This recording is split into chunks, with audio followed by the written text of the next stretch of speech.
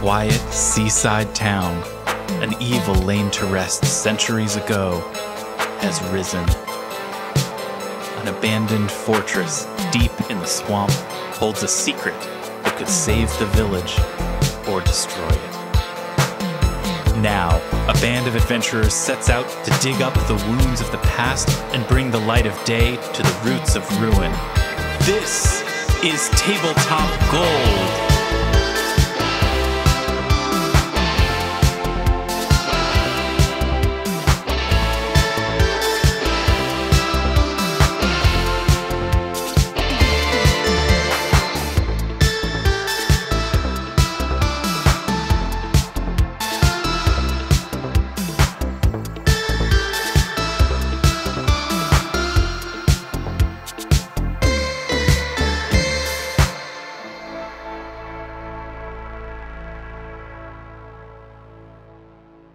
Hello, friends, and welcome to Tabletop Gold, episode 144 of The Roots of Ruin. My name is Lars Casteen. Welcome for another uh, entertaining and exciting evening of tabletop role playing games.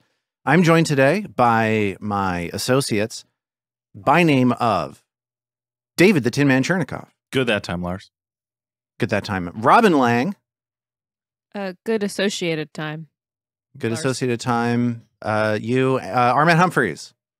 Uh, good that time uh, to all associates. I got nothing, I'm And- sorry. Zoe Chernicoff. Hello, comrades. Hello, comrades. um, so we're gonna get into our game in just a second. We've got a we've got a break now from this starch madness that we've been going through. Uh, I hope everybody enjoyed the end of that tournament and the beginning, and hopefully the middle as well. Uh, I was excited to see the the victor coming through last week, um, which of course we all know was uh, Pasta. Congratulations once more to Pasta, Ridiculous. uh, from Stolen David yet again. the eye roll Chernicoff. Um, but today, I just want to talk about. I just want to to ask everybody to engage in a thought exercise. If you had the money to buy a second home anywhere in the world, I'm not asking you to uproot your life. I'm not asking you to like move to a new place. I'm asking if there was a place anywhere in the world that you had the budget to buy a home there and travel there, right? We're we're externalizing all of those expenses. If you just had a place that you anywhere and you could get there when you wanted to, to have a sort of second life in another another place, um, where is it that you think you might want to have this sort of side home in? So I feel like I followed you up till Second Life. Like, do you have like another life partner there? I, do you have a different Zoe and I were going the same direction. I was like, would I have a second family there? I feel like vacation home. I had you, and then Second Life. How I was did- like, oh, I see a shadow existence. All right, excuse me, How did we everyone. both go there so I'm not sure I've ever sworn on the podcast. What the fuck, honey? I'm right here. I It's not Obvi- my hypothetical. I didn't mean that. What I mean is not necessarily. a Obviously, you beca- didn't mean it. It's just that my wife heard it. So maybe we should get to the bottom of this. she this. wasn't the only one. Ah, so all the ladies immediately were were swapping out. So yeah, Women let's- notorious for living second lives with Yes. other Yeah. spouses. Yeah. Because, you know, one spouse isn't exhausting enough. No, no, this is this is a good. All right, so uh, leave behind. Okay, if you were gonna have a second home somewhere and blah, blah, blah, let's just skip straight into the new life partner. What's that guy like? Oh, God.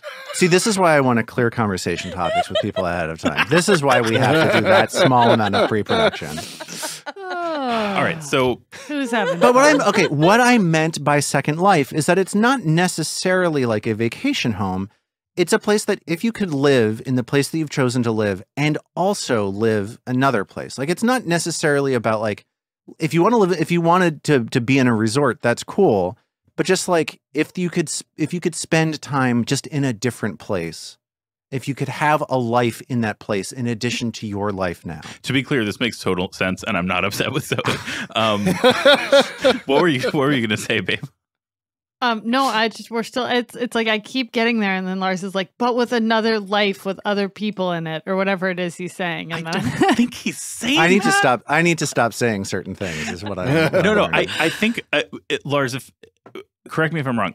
it sounds like what you're trying to get at is the distinction between like where would you like to travel if you could versus Mhm. where would you like to have a consistent ongoing relationship with the place Exactly. it would but exactly. that, but it's falls short of it replacing your current home it supplements Correct. your current home it's not if you could live anywhere in the world because i don't really like questions like that because like the, it, it suggests that you like hate the thing that you're doing now like i hmm. really like living where it is that i live like i especially having been here during the pandemic like i, I really appreciate and love what i have in wh- where i live you know Yeah. yeah. but i do think it would be cool to to be like and also i live in x other place Right. not Sure. necessarily as a replacement and not necessarily as a vacation but as a An I don't wanna use the alternate phrase an alternate life i don't yes Yeah, a exactly thank you superior life okay i'll answer the question Okay. Yeah. i i want to i i've i've never been to tokyo but i feel like it would be exciting to have a second life in tokyo Wow. Sure. So that's think- like such an interesting. So, so the place that you go for this is not somewhere that you've been before that you feel like would be really fun to keep going back to. It is a totally new place, but that feels like it would be very romantic to develop a long term. Um, that's how i'm that's how i feel about it yeah like a place with many many things that i feel like i could dive into forever yeah.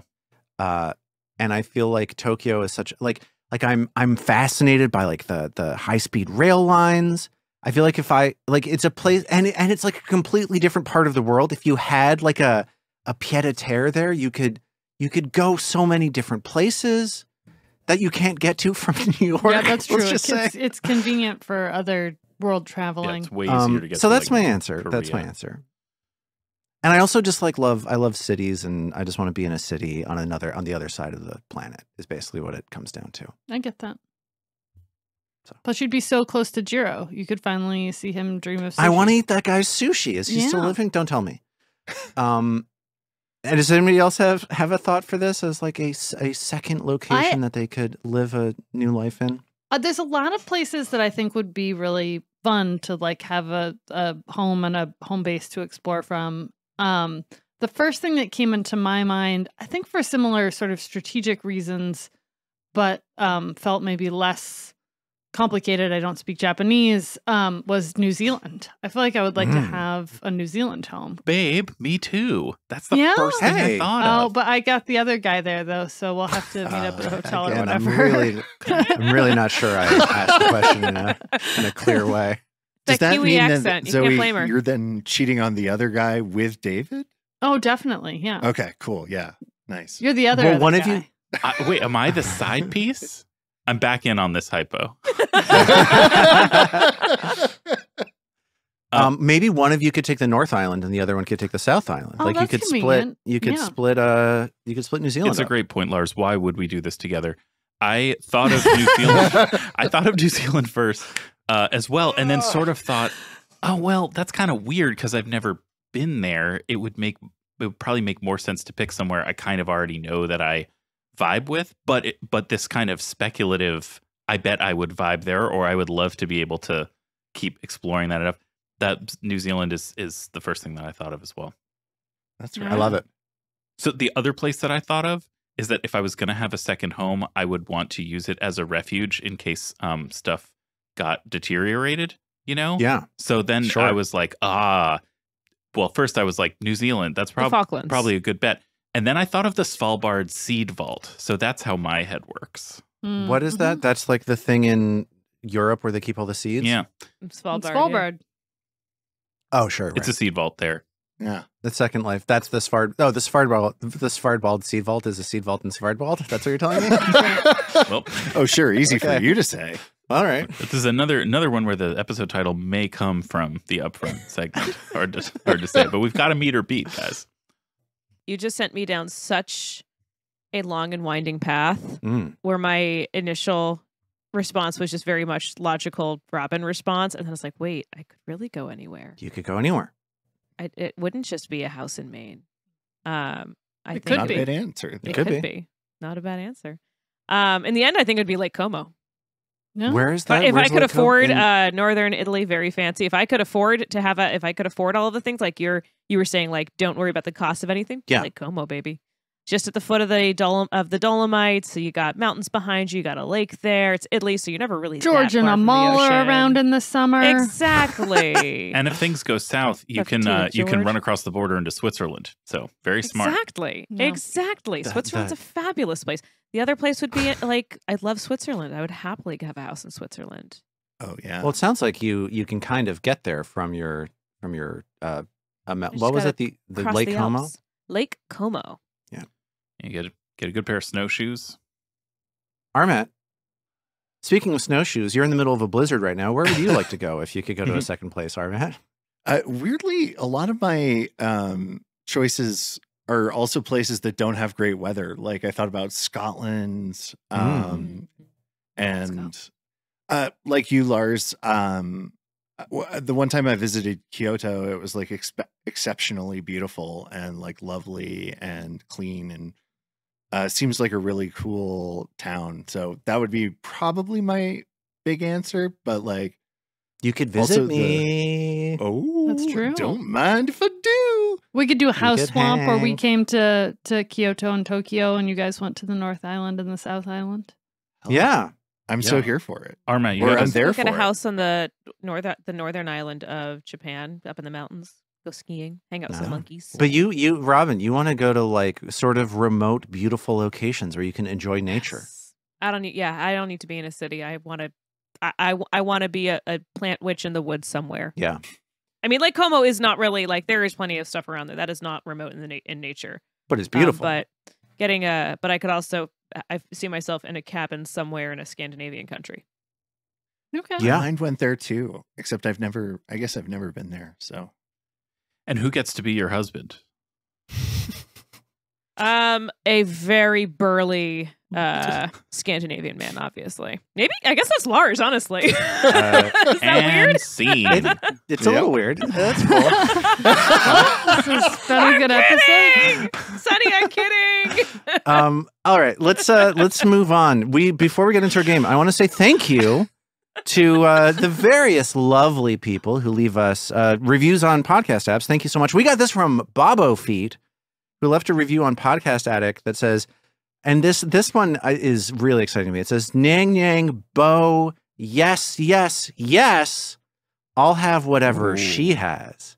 Which is taking Nang Nang Bonobo, turning it into Nang Nang Bona Yes, and then making it into a When Harry Met Sally reference. I love. It. Wow, this. there's a lot going on right there. I loved it. Everything plus is work. good about that. A plus work. A plus done. work. Thank Well you, done. Bobo Feet, for uh, for that review on Podcast Addict. It helps us out a ton. I really appreciate it. Thank you so much. This is episode 144. We're about to break off another five. This is use it or lose it territory. Uh, if you recall what happened at the end of the last episode, maybe you, you maybe use it. Maybe now it's time to use it rather than lose it. I don't know. Uh, Let's Oh. uh, get into it. Let's uh, let's play our game.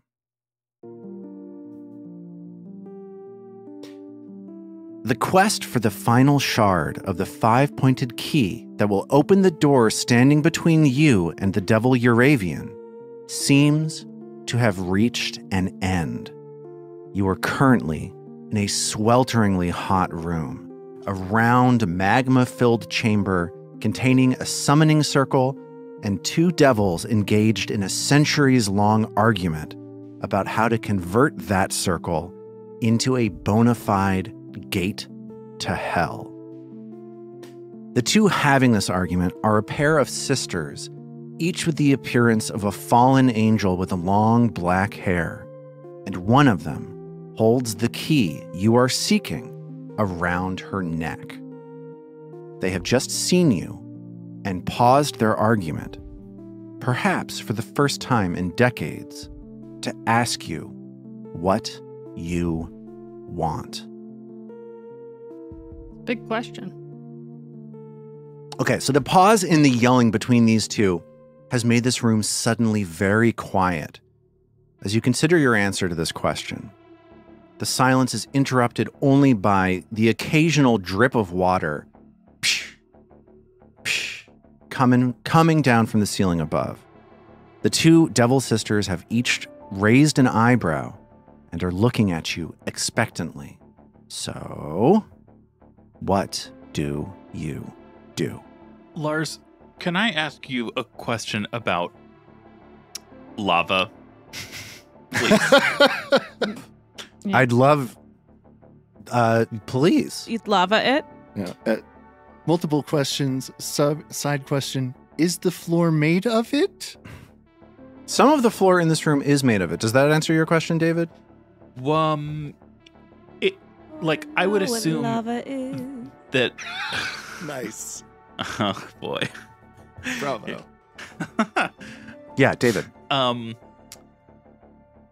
I, I guess what I'm trying to ask is what's lava got to do with it? Um. um. oh my god, I love this.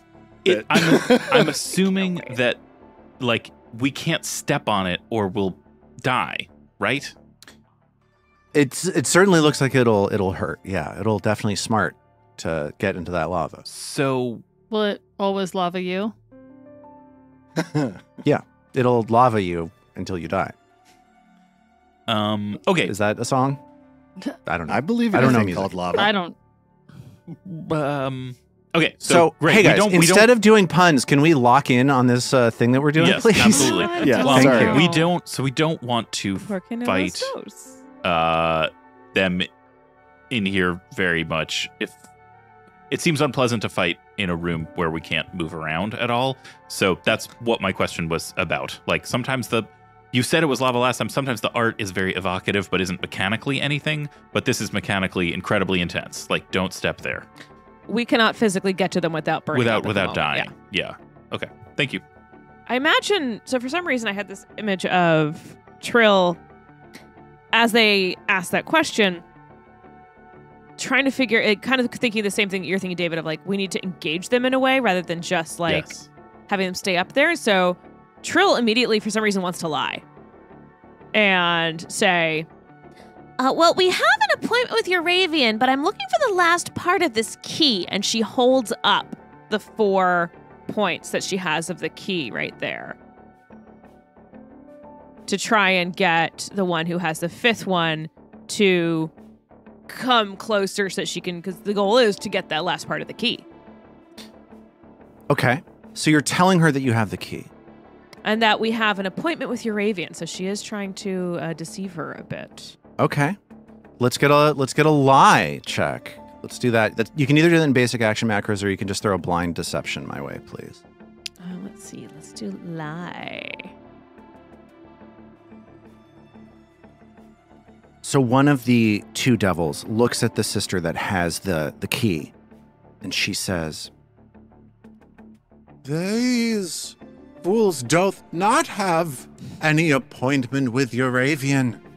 Yes, sister, but I doth believe that they do want the piece of this key that we hold.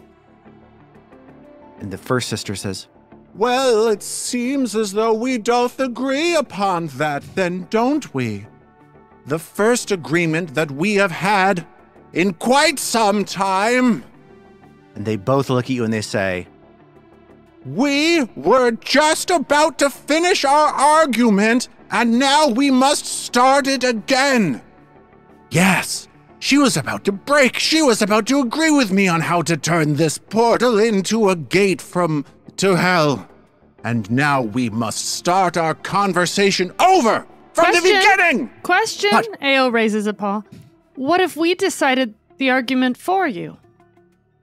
"Okay." They so they they shrug they think for a second and they say, Doth any one of you have any knowledge at all, even about planes, extraplanar travel, or anything? Obviously, would Can I have Ethan offered roll- to settle? oh, go ahead. Go ahead. "Sir, Can Iston roll Arcana to see what he knows about interplanar travel? and mag mutters under her breath hath, hath not trill recently uh additional book learning with regard to um forsooth uh devils I mean, there is devil lore, but I don't know if that's. Yeah, so I yes. mean- uh, Um, That's So they see the they see the four of you huddle together, and they're like, Take thine time. Just let us know what thou wantest to do. Trill, you've got your book. Iston, you can probably figure something out, and I'll I'll, I'll either figure it out or I'll lie about it. And I think, I, and I've been inside the bag of holding. That's a whole other extra. That's extra planar. And uh, um, the the The Motley Man. Motley Man. He, The Motley Man. yes. I've, tra- I've Motley traveled to other planes in my brain. It's on Sure. Motley Lane. Dr- Drury Plane. Drury Plane. Uh, blind. I don't know what you're doing. Tell me, tell me what you're saying. So, Oh. so you're you're talking as a group. What are you saying to these Yeah. two ladies? And what check am I paying attention to? One person gets to do a check. Yeah, I think it should be a- AO. Okay. Yeah. Okay. I've- Sure, I've got a plus, ele- rather- a plus 11 Arcana. Or we could, or you could just try lying to him if if it's Frown Day. Well, I think if it fails, then I'm going to lie. Okay. For making Wait, an what? Arcana check, I have a 16 Arcana. Oh, then you do it. I'll, I'll be backup Yeah. liar. You do the check. So as as you're huddling and coming up with a plan of what to do, uh, perhaps Trill notices that these two devils are getting angrier and angrier. You get the sense that these erinyes, the, the the two of these these creatures are the same same kind of devil. These are fury devils. These are devils known for their rampant, outrageous anger. It seems as though Barkenbuck channeled that energy into a relationship with uh, uh, his work. But these two are getting more and more furious. So, whatever it is that you do, whatever it is you say to them, it better be very good. Thank you. So, Iston, We, we gotta make this good, guys. Right. Iston, this is you. I'm not always great at social things, but I, I do remember I read a couple of books about uh, Iston, interplanar. Iston. Hey, hey, What? we don't have time for this. Look here. Look here. What do you know? Yeah, right. Uh, well, let's see. Uh, and I'm gonna make that Arcana check. Is that sound like the plan? yeah, do it out in the open, please. That is a 13 on the die for a 29. Okay. That's a success. So, give me just a sense of what sort of thing Iston is saying Yeah. What about were, extra planar, whatever. what was the thing that they had said they were debating between whether or not? They were they were debating, and this is a great question that I definitely didn't delete from my notes. No. Uh, so I'm very glad that you asked it. Answer. They were debating. Sorry. they were debating um, whether one of them was saying that the portal relies on the thinning boundary between the planes. The other one is saying is that the thinning boundary between the planes creates a substrate that the portal uses to manifest into per- permanence. So the question is is it about the thinning boundary between the planes, or is it that the thinning boundary creates the substrate? Hmm. Iston obviously knows. what if the substrate creates a thinning boundary? That seems like a distinction without a difference. Maybe that's, yeah. Well, what do you, what are you talking about, David? How dare you? Whose side are you on? Well, I have to imagine if you want a permanent portal uh, that is a rift within the the dimensional fabric weave, um, a thinning of the veil could be useful into making that permanent. However, it also may erode and lead to uh, thinning in the veil to other places within the multiverse, and so. You may find that the thinning of the veil actually eventually ends up working against what you want. Tell me you've written for comic books without telling me you've written for comic books. Mag devils nods shout- lustily. They shout out, Silence! What foolishness! and the other one's like, Well, sister, let us not be too hasty. There is a chance that the mortal hath come upon some sort of breakthrough here. and the first sister is like, You're not just saying that, are you? You, you think that? and with that, I'm going to call that a make an impression. They shift from hostile to unfriendly. Hmm. And let's let's just say that if what you want is for them to give you the key, let's do that mechanically. There's something called request.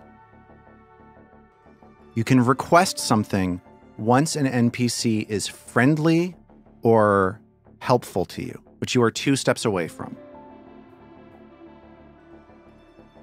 The request is a diplomacy check. So if you're able to warm these two up to friendly, which is two notches up from unfriendly where they are now, they may hand the key to you. However, if you knock them back down to hostile, they will attack.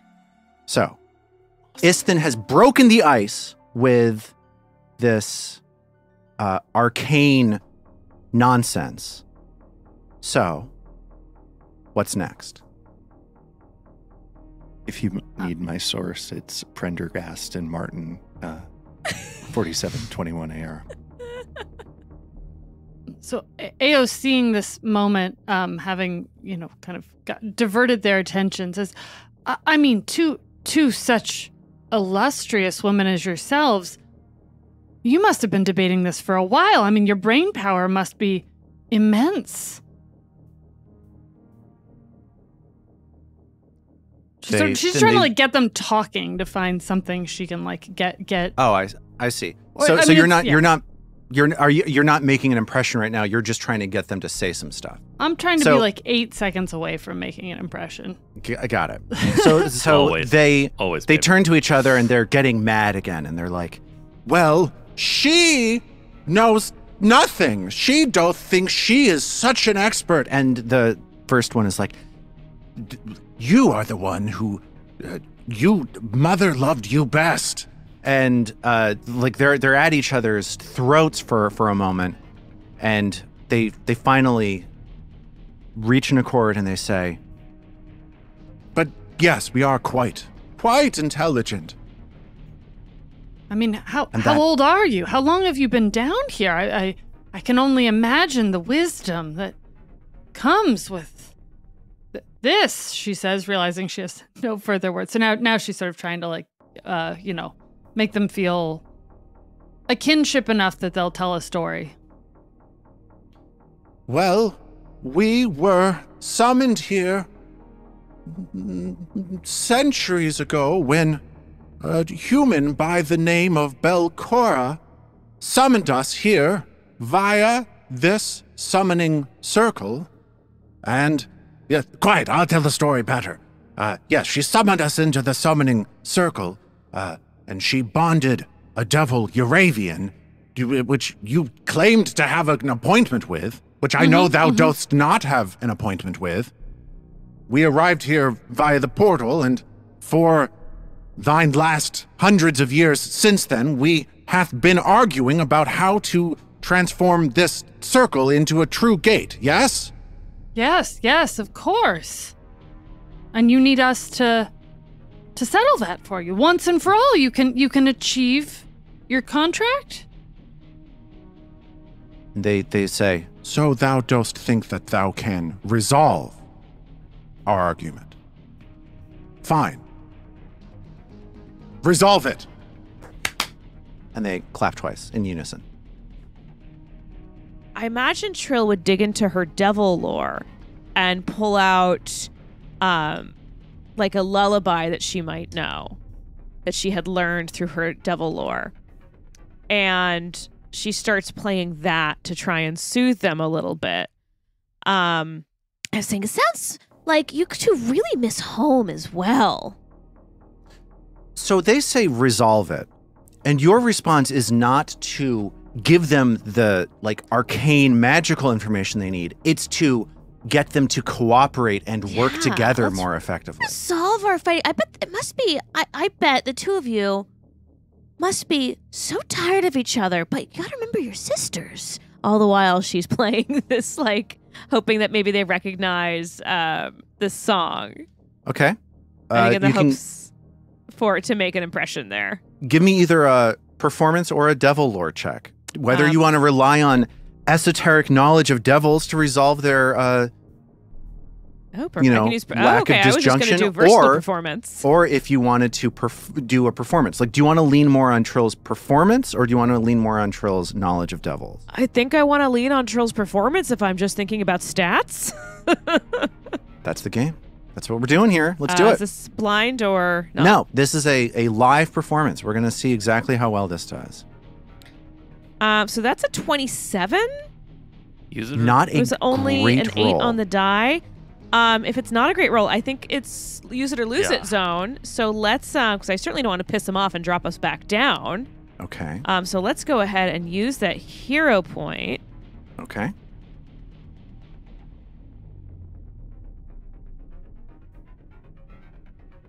Hey guys, you know how when we usually use a hero point to reroll something, it's worse. Right. Uh, that that was a 20 on the die. Woo! 39. Hell yeah. Okay. Your first roll was a success. and the moment you said, I'm going to re-roll this, I was like, this is how it all falls apart. This is how I get what I want. So I get what I want, Lars. But then you rolled a 20 on the die. Critical se- success in Make an Impression is that the target's attitude improves towards you by two steps. Whoa. So they move from unfriendly through the middle one, which is like, we don't care about you. I forget what it's called. Indifferent or something. Indifferent, thank you. And they go straight to being friendly towards you. So you played Handy. this song about like devil sistership. Is that what you're singing about? It was a lullaby too, right? love- lullaby. lullaby. I, how I did it, imagine how did if, it sound? if, if I could choose what their response would be, it would be like they recall hearing this while in their infernal cribs. And it sounds kind of like.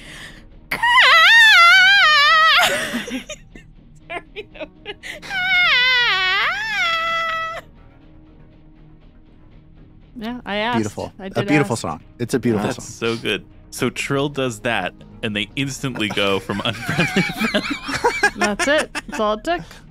It's like um it's like Leonard Cohen's Hallelujah, but in Yeah. for, de- for devils. Yeah. Or Johnny Cash's version of Hurt. So you see them as they flash back to their infancy. I'm going now to the category of songs that I keep for our soundtrack called Sadness, which I never get to play. Oh. Here we go. And as Trill's heinous song That's her plays, devil lore. the sound you you notice that the the circular chamber one it's hot as blazes but two as trill's song hits the walls the sound bounces around the edges of the room and sort of reinforces itself and it sounds as though there are a dozen trills playing this song in unison I'm so sorry. oh. you take 29 points of mental damage Yeah. Just kidding. and you see these fury devils, their faces soften from anger and outrage towards you. And their their outrage towards you drifts away. Holy and then they look towards each other and they're grimacing. It's like a uh, you know how like at the beginning of Mortal Kombat where you see the two the two of them face to face and they're like yeah. and they're they're you know grimacing and and about to to knock each other's block off. But then that fades too. And the two of them one the one on the right, the one with the necklace around her neck reaches her arm out and softly touches her sister on the shoulder. And then, in one fluid motion, her sister throws her arms around her and they embrace. Just silently, not sobbing. It's not ridiculous, but they have a moment. They're still erinyes. They, they still have some gravitas to them. yeah, I mean, Trill basically just pulled the full Orpheus, save for the sobbing bit. that's right. They look Never towards look you back, Never look back. and they say, Thou hast pulled the full Orpheus. we know Greek mythology. Oh, it means something very different. Uh, in here. Yeah, there's a more colloquial uh, version of that, and you don't want to inquire. And they, they say to each other, Perhaps we should work together, mine sister, to create this gate to hell. Now we will truly succeed in our goal of forging a permanent highway between hell and this area just 20 minutes outside of Otari. Guys, do we want that? Do we want that? Right. Ao oh. shrugs. They can sell the trill cakes. A whole new market. I, Good old infernal market. It seems as though they are satisfied that you have resolved their argument in an unexpected way. But if you would like, you can now make a request. Well, it's, And it's, uh, it's funny you should mention. Ao sort of like awkwardly sticks her hands in her pockets. The idea of um of working together. We're so inspired that you two will be working together. That we're hoping the four of us who also have um, been arguing and have to figure out how to open a portal. We were just thinking maybe you could give us the piece of the um, help us with your infinite wisdom to solve the portal we need to open. And she's sort of like awkwardly fumbling around her neck. Behind her, Mag is nodding lustily. okay. So they consider this.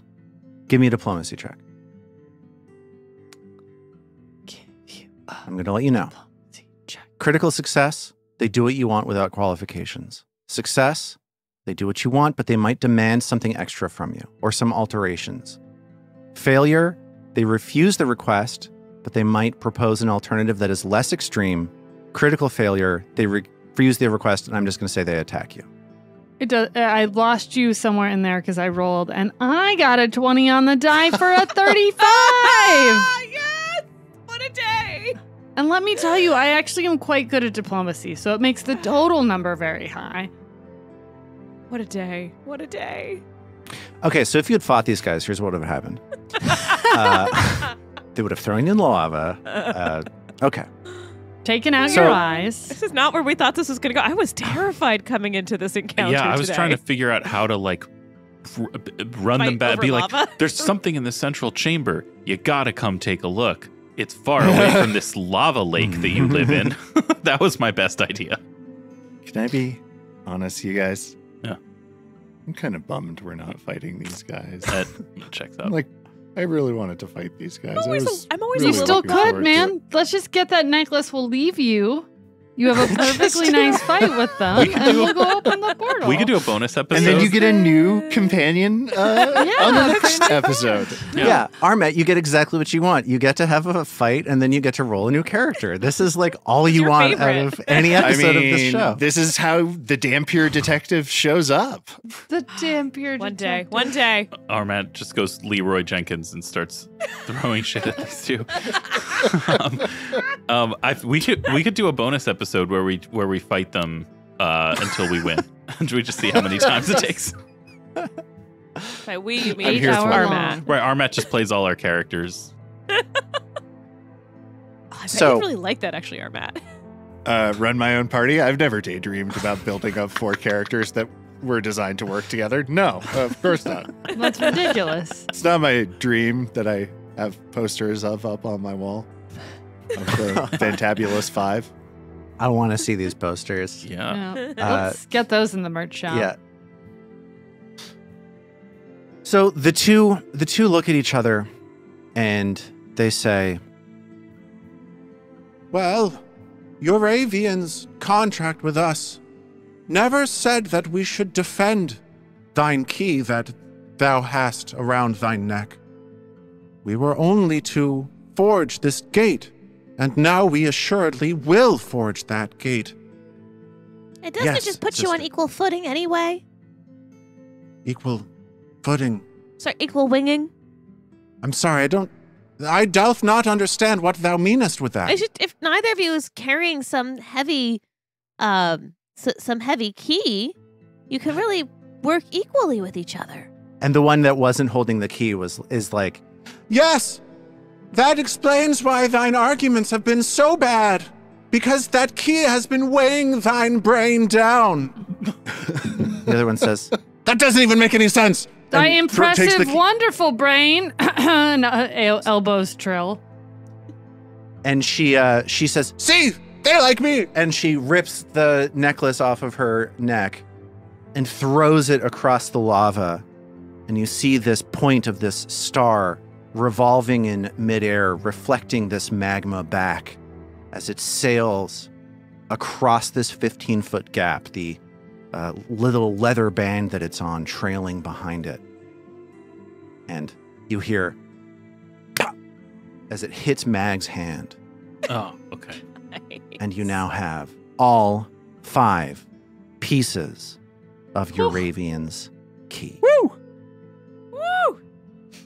All right. Hey, as you're standing in this room, maybe somebody wants to give me a nature check as you look around and get a sense of what's going on. Uh, what's going on here? I appear in the remaster to have become okay at nature, which is as surprising to me as it is to anyone. But if any, if So long as one of us has nature, and none of us have had nature for a while, I Yeah. think. Yeah, nature has not been so meaningful. below in ground. this, Who uh, sorry, needs I it? did I did that secret. I don't know. if- I'll, I'll, I'll, I'll, I'll reveal it. It's fine. A rolled a 29. All right. It's no 20 on the die, but it is a, a 19 on the die. Dang, hot dice.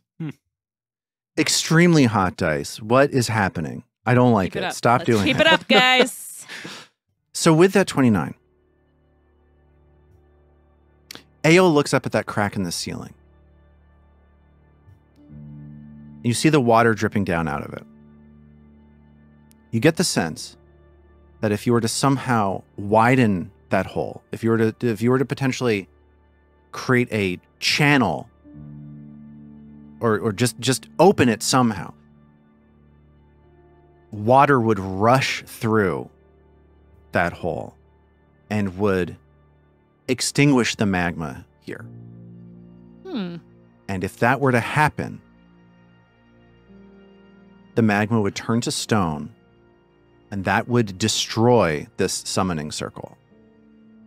The circle is powered. The gate that they're trying to make is powered by this magma in this Oh. room. but then they would attack us. But then we wouldn't have to deal with the lava while fighting them. Right. It would be an easier Touche. fight. Hey. As you're saying that, though, as you're considering that, it does seem as though it would take several hours to, to open this hole enough. Um, Oh, so you do it you do it from the from up above. You dive down from up above and widen the hole at the Oh, bottom what of the we, lake. What are we below? Do we have any I, sense? I'm sure the we're lake, below probably. the lake where the where the hydras The were, hydras. and then Sarg, the Sarglagon that we just defeated. oh. So if we wanted, we could head back up there. Mag could take a really deep breath since she can hold her breath for like nine hours now, and go down there and, and smash the bottom of the of the lake until it, the crack gets big enough to. That actually feels also very in keeping with Mag's um, Mag's prime directive, which is to keep Otari safe. Yes, she is something of a completist when it comes to destroying things that could be beamed out of the lighthouse and into the middle of her home. Like, for instance, say, all of the residents of hell. That's an example. oh, Just, right. well, just one example. it's a portal to hell. Hell yeah. So now we have the ability to go to go say hello to Urevian, and we also have the knowledge we need to neutralize this gate to hell. So it's sort of like which order do we tackle these in? I'd go ahead and knock out the gate to hell. It feels like it's not going to be so hard. So these these two um these devil these two devils return to their work. They're no longer paying attention to you, and it seems as though your business here is pretty much done. And A- Ao just begins like quietly backing down the hallway. Let's get out of here before they get pissed again. They're going back to the lake. Back to the lake. So you head back through that central chamber, up the stairs, around this passageway leading through the cavern, and you are back at the lake where you fought the Sarglagon. Here on the sixth floor of the Abomination Vaults. And It sounds like you basically have a plan already. Mag is going to use the fact that she can hold her breath forever to uh, to steadily work on this process of creating a hole from the lake down to the uh, summoning portal below. Yes. What are you going to use? Like, so what? So so what happens? I mean, I guess I guess the first thing is she needs to dive down and get a look at. She, she's she's gonna, I guess, first inspect whatever's visible up above the surface of the water to see if there's any sign of, like, an exit point for the water. She assumes that it would be below the water level, that it's gonna be like in the bottom of the chamber somewhere. So, does Yeah. she see anything at the surface, or You you don't see anything at the surface. You got a pretty good look at this area before when you found your armor that you're now wearing. Yeah. Okay. Then um, I'm gonna dive down beneath the surface below to see if there's any obvious exit point for the water. So Mag dives into the water, holds her breath, easily swims down to the bottom. It's what, 10 feet deep, 15 feet deep. Not it's not it's not hard. 15 feet deep. Mag doesn't see anything. Give me a give me a perception check, actually, David. Let me let me tell you. Give me a an, uh, an open perception check. please. Sure.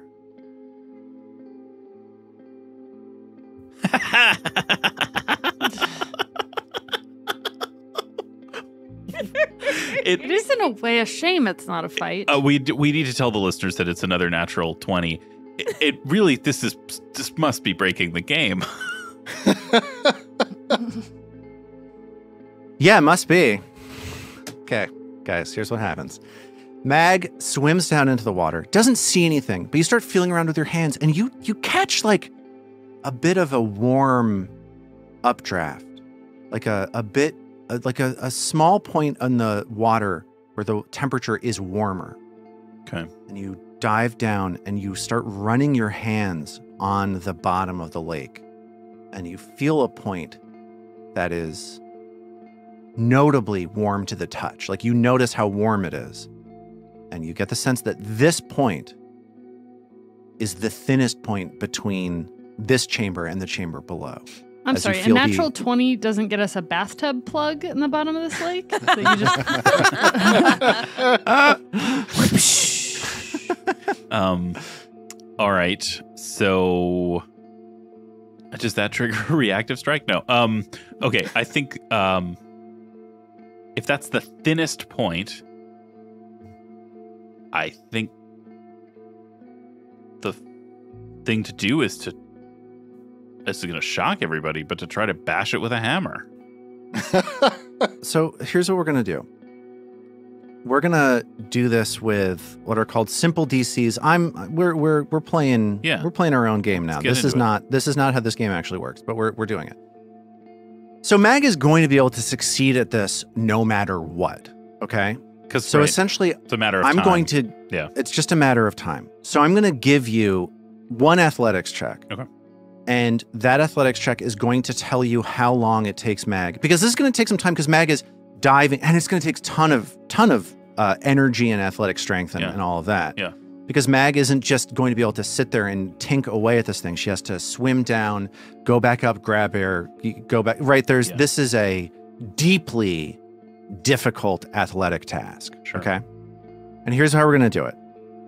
The legendary DC, DC 40, if you get that, takes an hour.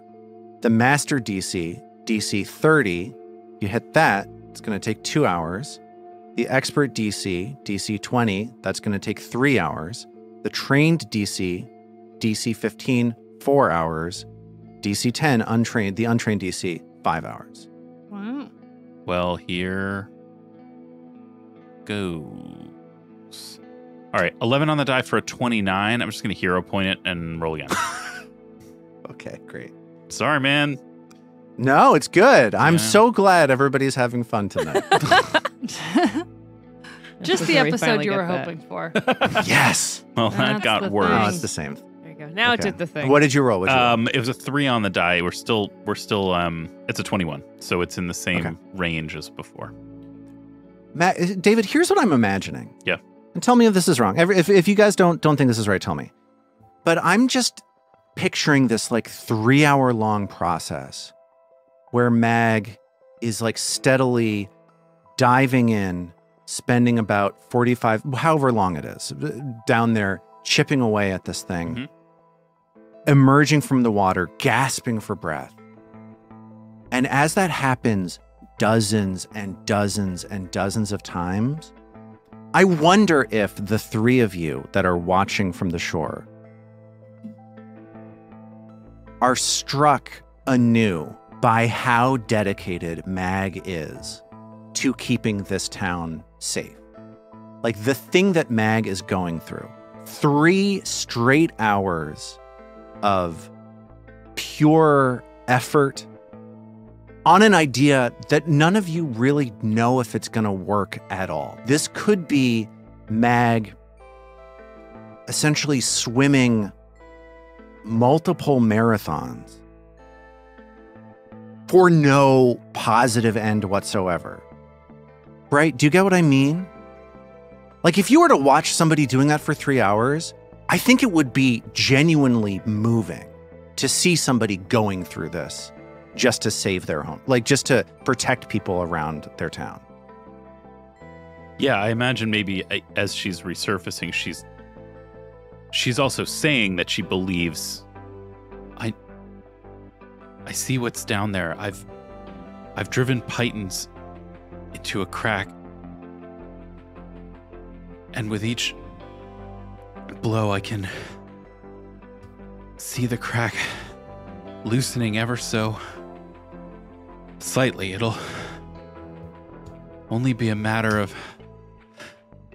of time. This is essentially crafting Mag.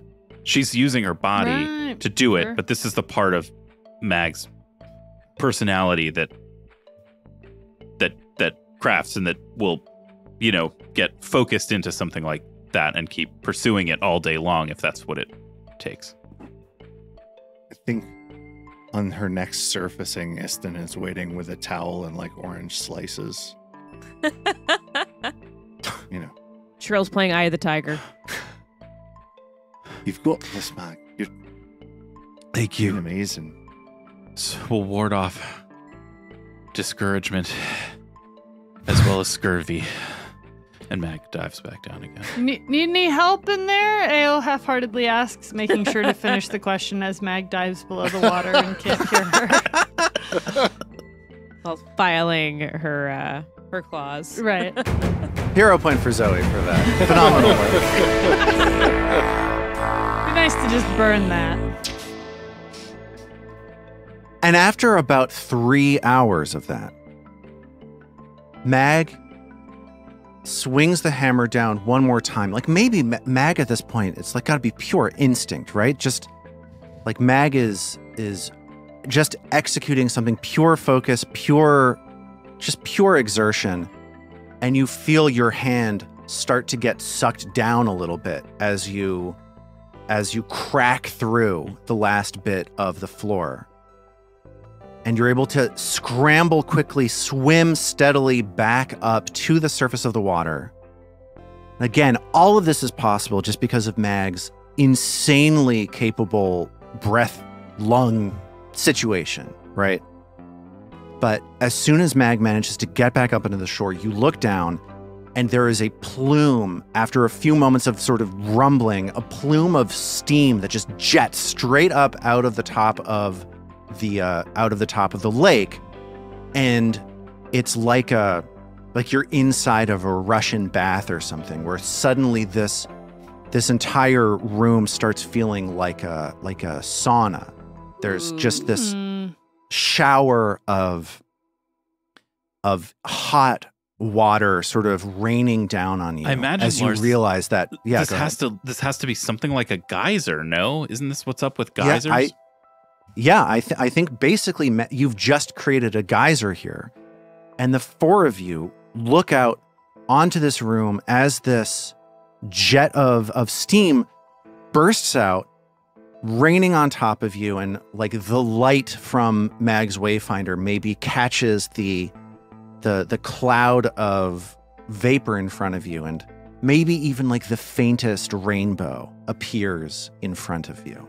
And you realize that you have completed this task, that you have broken through the floor of the lake, and that over the next few hours, this magma will cool to stone, deactivating this summoning circle. Can we like peek at all and see what the ladies are up to? Or is it like the water is flowing too slowly to be able to do that right now? Well, you consider what it would be like to stick your head into a geyser for a second. Maybe. I don't know. If you if you want to take a look, you can. It seems potentially like the hot water jet like the steam jetting up might might impede that slightly. Hmm. Um, if Ao did, would you tell us that you guys are crazy?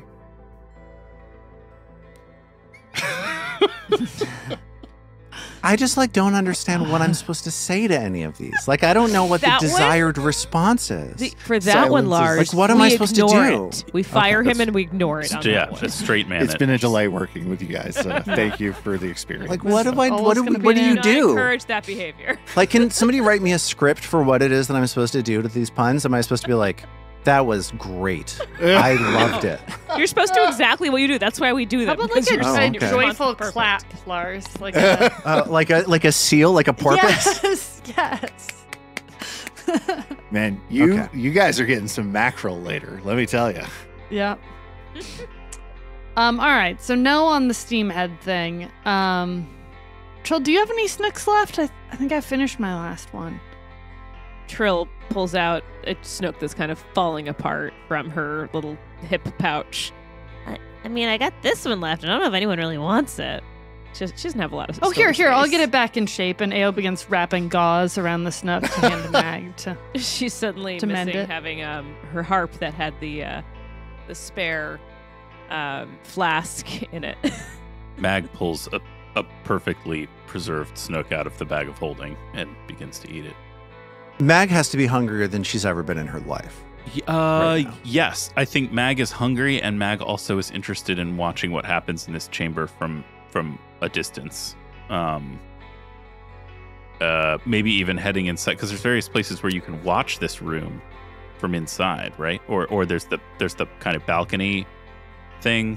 Don't stand next to a geyser. That's what Mag is thinking. Mag is thinking, I'm hungry, and Oh, I I would like to enjoy this snack far away from the collision that I've just created between magma and cold water. Because the last So I time Mag love- failed to So- think about that sort of thing, it exploded and it killed her friend. So she's gonna she's gonna encourage everyone to get a little bit of distance from the I love that like Ao's initial move is like let's get closer to this and Mag's initial move is like we got to get away from Back this thing up. like yeah. yeah. immediately. Yeah, that checks out. So yeah, you're able to set up a sort of watch point from behind this uh, this glass wall, this transparent stone, and Mag is able to like sit back and snack as she watches the steam in this room get thicker and thicker. I've been watching a like reasonable number of videos of people cutting down trees recently. I imagine it's a very similar satisfaction. You know, you're watching this big, sort of phenomenal thing happen. Nature doing Yeah. its thing, gravity doing its thing, basically. You're watching gravity do its thing. That's, yeah. Absolutely. It's nature reclaiming part of this vast underground world that has been twisted towards evil for so long. Nature and is that healing. potential. Nature is healing. Nature So, you spend some time watching over this steam room that you've created. It's around three o'clock in the afternoon. What are we doing now? Well, how are we on like spells? Like, how's everyone feeling? Are we up for like the big boss fight, and we're gonna go try and to talk go. our way out of it, and then Heck yeah. uh, have R. Matt be the only one who's happy when that fails? Yeah, Trill's good to go. Trill's ready to go read some. I got what? It's not infernal. What? What is the actual language uh, now? The thing is, like, It's This this is thing. legitimately the thing that I hate most about the remaster deal is the changes to lore because like I barely learned what Infernal was. like it's just not it's just not my strong suit. So different name now, right? yeah, it's a totally different name now. But you know when we when we did our whole plan for how we're doing the remaster for the show, We didn't. it was like lore. lore lore stays what it is. Um, I can't go through this book and change because they changed the name of Undercommon too. Undercommon is now um, Sakvroth. Oh, No, not interested. Right. I thought that was the one for Infernal. That's that's the difference. I don't know. Maybe it. Who knows? Who's to say? there's no way It's to. unknowable. So, you make your way down that same central staircase, and as you step down the steps to the seventh floor once more, you notice immediately the pentagram door to your west looms large in front of you. And you're able to spot that fist sized cavity waiting for this key. What do you do? So Trill takes all the pieces out, and she finally takes a moment now to fit that fifth piece in, to see the whole thing fitting together. It snaps together like a like a puzzle, like an ex, like a nice expensive wooden puzzle. Trill looks back at everyone, kind of nods, and starts walking towards that gate. And she goes to put the key in, but she's too short. It's you strain to reach the key up to the hole, and you it's just not happening. She's too short. So she looks back. She's like, uh, uh, uh, help, please. Yep. Meg, Mag, do the lift. Mag walks over and does the dirty dancing lift with Trill. Or I guess Trill would have to get a running start. So it's Mag assumes the She position. always has the time of her life with you. The key slides in perfectly, clicks in, and then as if the door has been waiting for the key, it starts to spin on its own, like it's boring its way through the door. And then you hear as a line appears through the center of this pentagram. And you feel like a burst of of gentle air come from this crack that has formed between these two doors as they swing outwards towards you. And the door is open. What do you do? Oh, is this the time maybe to use that wand we got with the seat with the eye? Maybe we maybe we shouldn't just walk right in. Trill's got, uh, we got from that altar room, Yeah. um, a wand with a uh, spell. I'm trying to remember the exact name of it.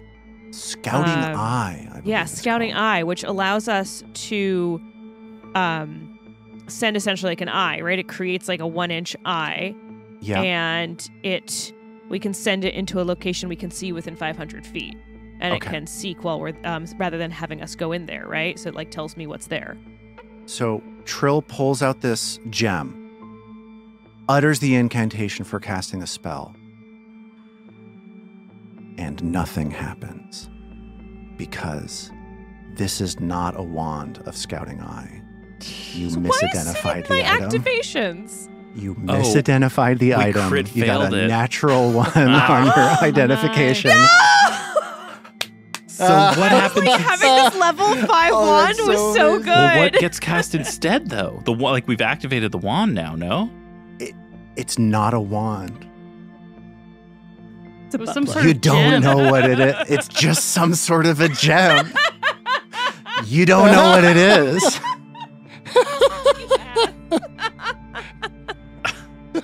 Wow, Chekhov's That's. Chekhov's eyeball wand over here. How long have we been waiting for that? So yeah, this is uh, Trill looks at this thing and is like, "What was I thinking?" Well, and she puts it back in her bag. In her, I think she had it in her wig too. yeah, You had this Oh, unknown right. magical elemental. oh, sorry, I just spoiled. Uh, you had this unknown gem in your wig. So Trill goes and puts it in the bag of holding. We'll figure this out later. really I annoyed. could I could try. Hold on, let me see if the hand can learn anything. And Ao sort of like hen- sends the hand skittering into the room. Like she's not trying to look at all, but it's just sort of groping around. Yeah, you just hear her like. Uh, hello? Th- then you hear like a whisper, like, Dude, I just heard somebody cast a spell out there. What? uh, Watch out. It's gonna be bad. and then a few minutes later, or a few seconds later, the first devil that you hear is like, I don't think anything's happening. I don't think it's bad, dude. I think it's fine. and then they're like, Well, what do you think they're doing out there then? Why aren't they coming in, dude? How big are devils? uh, de- Depends it depends. The yeah, the the the devils that you've seen are God, Jack is tiny. Jack is tiny, but but the some of the devils that you've seen are but roughly human is sized, like hefty. like Barkenbuck. Uh, the Barbazus that you've seen are are much are much larger, but Okay, not huge, not large. Is, is there like an Bodybuilders? us-sized devil? Is that something Ao could imitate and and be sort of generic us-sized devil? yeah, you've seen those Barbazus. Do you want to try to impersonate a Barbazu? Yeah, she she turns into a sort of uh, Barbazu, not Bark and Buck, but just a Barbazu. Okay. So, Ao now looks like a Barbazu, and what do you do? What's the plan? Hey, you should, you should pretend like you're leading us, like like you're, you're bringing us to Urevian. And and I I think there has to be something about my contract and his contract. I don't know. I'll figure it out in a minute. yeah. Something something great always comes to me. You're, you're great at thinking on the on the on your feet. It's, it's got to be something to do with not wearing shoes. Def- definitely, she says, and she sort of like shivers a little. That that's enough of that magic, she shouts suddenly. We can't have you doing magic around here, not around Urevian. Uh, and she and she motions to everyone and heads in the door. Be behaved. This is Urevian here. She sort of loudly announces as she walks in the room. Okay. So, Ao, as a Barbazu, walks into the room, and you notice that there are two Barbazus standing watch right by the door. And they're very taken aback by what's happening right now. So, they are going to attempt to do a seek action against Ao's uh, disguise. So, this is against your deception DC, which is going to be four higher because of your wig of hold, uh, your hat. Sorry. We can hold which- help there. Yeah, I forgot which uh, ridiculous thing we were talking about right now. so, so they're going to make a perception check. This is against your deception DC plus uh, with this bonus. That's 27 versus your deception DC. Yeah, that's going to be very hard for you to roll, unfortunately. That does not pass. You rolled a 27, and I believe my deception DC is a 32. Dang. All right. Wow. So the two Barbazus look at Ao and they're like, Oh, dude, I didn't know that we got a new a new uh hire in here. What what are you doing? Well, the, the portal finally opened up. There'll, there'll be more coming. We've all got work to do. We've all got our contracts. Are you doing your contract? I should mention that as Ao says the portal has just opened, you hear faintly in the hallway way back behind you, just like it sounds like two Mack trucks running into each other over and over again. As like, and you, you if you were to turn your shoulder and look over your shoulder, you'd see one of the Araneses flying, like getting knocked, like she's been punched through a, a building into Jek's room, and then like flying back across the room. It's like the two of them are just beating the hell out of each other. An epic battle. They just couldn't decide whose way was the way that actually achieved the portal, right, Ao? That's right. As Trill walks by these two Barbazu, so it's like Ao leads the way as a Barbazu. They've totally bought it. This Barbazu on the right turns and sees Trill and says, Oh, dude, it's that gnome. Uh dude, I was when I was uh, stuck in that that room before. Uh, this gnome was here. And you realize that this is Corlock, the devil that you. Oh, hey, buddy. Corlock is like, I'm sorry, I'm working right now, dude. I can't actually, bro. I uh, let's catch up uh, later. I'm sorry you got captured again. It's bad luck though. We met so- Corlock back in like the third level, right? that's right. Wow, that was so long ago. But Ao's able to lead the way, all of you in tow, pretending as though you have been captured, to the north, to something that looks like an office. How these rolls this session? Like we are just skirting by everything. Unfortunately, this session will end, and then next session will be just out of luck. Back to but- natural one. just when we just as we're entering a battle. And you see a devil standing behind a desk. He uh, has He's beautiful, majestic robes, and uh, an erudite look to him, wearing jewelry, gold, A monocle. a monocle. And he sees you, and he looks at Ao. He rolled a 34 on his perception check. So he sees through. He sees that Ao is not is not a Barbazio. Whoa. He doesn't know Right. it. He, he hasn't seen Ao, so he doesn't know Ao, but he knows that there's something not right here. He looks you up and down, smiles. He says, Oh, it's you. Nice. Welcome to my little slice of hell here on Golarion, dudes. And he looks at Ao and he says, You, it's okay. You can drop the act. Listen, you don't need your weapons. I'm not your enemy, and you're not mine. Come on, let's get a look at each other. Let's let's check each other out. Ao smiles at him and turns into Norman. She feels like this is just someone that, that maybe Norman can deal with better than she can. Hey, bro! We heard you hate your contract. Oh, jumping straight to the point, are you? nice. I like that. I like somebody who is as focused on success as I am. And if you're in here looking to maximize your potential vis a vis a conversation about an agreement, then you have come to the right place. Nor- Norman sort of like started to like not not like full dodge and weave, but he's like he's like kind of he's feeling it.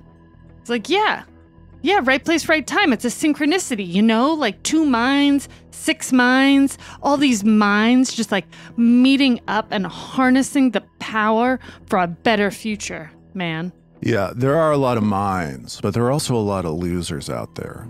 Just because I see that you have a mind, it doesn't mean that I'm like impressed really all that much. Word. But you know what I am? I know. You get it. You know, it's actually not surprising to me that you would be so set on getting in here. The uh, the universe you live in doesn't have much of anyone as success pilled and achievement maxed as I am. So Oh my god. Is dude gonna try and sell us some Bitcoin? This is an MLM, but I think we're getting in early. That's the key. It's the best time to get in. Oh, I hate him so much. Nice, bro. Yeah. Nice. You work out. Yeah. Oh yeah. You if you want to get where I am, you got to work out really early. You got to wake up early enough that you get a full workout in before anybody else starts their day. If you can do that, you get 2 days for every day that they get. And that's what it takes. If you actually bet on yourself like I do, then you get where I am. A lot of people talk big. Not a lot of people are willing to make the sacrifice that it takes to get to where I am. so, this, and he dramatically casts his hands down to point down to his lower body. He's like, this is what that looks like. Hey, I want you to know I'm not pissed off or anything about the devils that you killed on the way here. Just sort of shows me that they weren't motivated enough to succeed. And if they had the mindset that they needed to have to get to where they need to get to, then that wouldn't have happened. So I just want you to know we are cool. There is no hard feelings. Yeah, man, like life just gives you these obstacles, you know, and you have to decide if you're going to use them and harness them or if you're going to let them define the absence inside of you, you know? And so, like, I'm sorry about that, but like, we got to You shouldn't be sorry. We don't gotta be sorry. hurdle. Don't apologize. Don't be apolo- Don't apologize. You're the way that you are. I'm the way that I am. Right? yeah. You can apologize for winning. I think Never. I'm having an aneurysm. Uh, b- behind Ao, Mag is shaking her head lustily.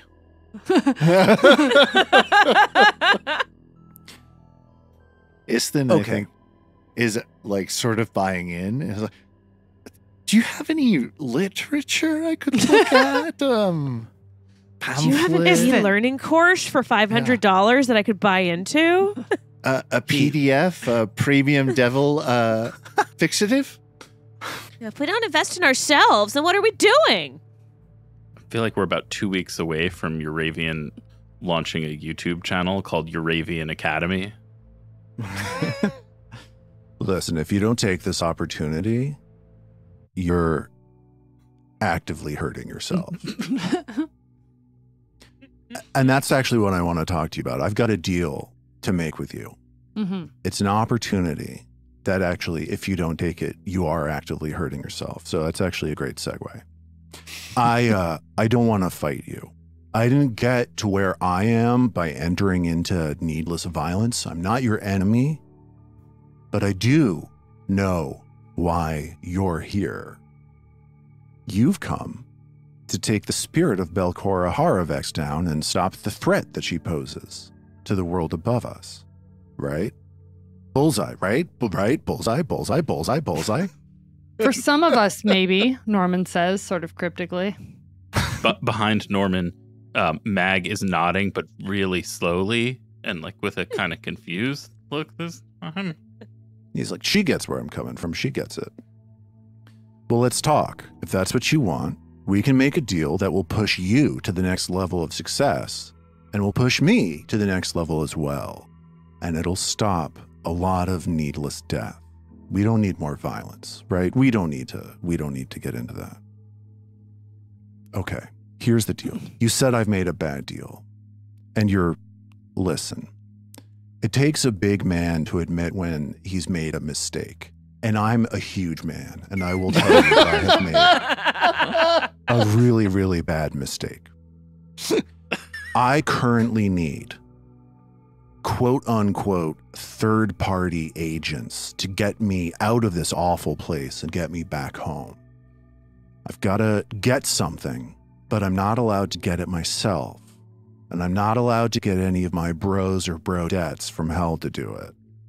So, what I need is the hands of a mortal foe of Belcorra to deliver something to me. My devils can't help me. The flesh warped soldiers can't help me. So, what do you think? Will you get this thing for me? Sorry, we gotta go to hell. I just want to make sure I get the deal because, No. like, The thing you need to get is here on Golarion. Will it involve hurting anyone? Um, no, you don't have to hurt a single person. Do we get to keep our souls? Of course. I'm not interested in your soul. What? what's in it for us? What's in it for uh, for you is once you deliver me what it is that I want, I will clear the way. If you need me to, I can have devils dig out the the boulders blocking your way down, the magical barrier blocking the elevator down. I'll get rid of that too. I'll clear out shop. Wait, wait, there's a magical barrier. Yeah, that you ran into it like seven months ago. Don't worry about it. Oh, There's no. a yeah, you saw it. it's cool. Um, yeah, and I'll clear out. No more devils here. No more, no invasion. Nothing, nothing like that. and you guys will just go home. we'll just go home. So, will you get me what I want? Urevian, what exactly does your contract with Belcorra say? Legally, I'm required to build an army for Belcorra, and then Belcorra delivers me my prize. If she's not around to deliver that prize to me, the contract can't be fulfilled. As soon as I get that prize, the contract is done and I owe nothing to Belcorra. And what would our contract with you say exactly? We don't even need to do this as a contract. All you have to do is bring me what I want, and we will go. If you need a contract, I'll write it out in oh, plainest language you ever heard. Bring me, bring me what I need. We will go, we will clear the way, and you will never see any of us ever again. It's a great deal. Okay, but what is it exactly you need? All I need is the soul of one person. Oh, one soul, one soul, Norman says, looking around. That's no big deal. There's one soul. All I need is the soul of Carman Rajani. Oh, a particular person. Interesting. Knew it was Okay. gonna be that asshole. And we'll pick up from there next time. So excited to learn more. What would have happened if we had killed Carman Rajani? Well, this sounds like this part of the dungeon would have been much harder.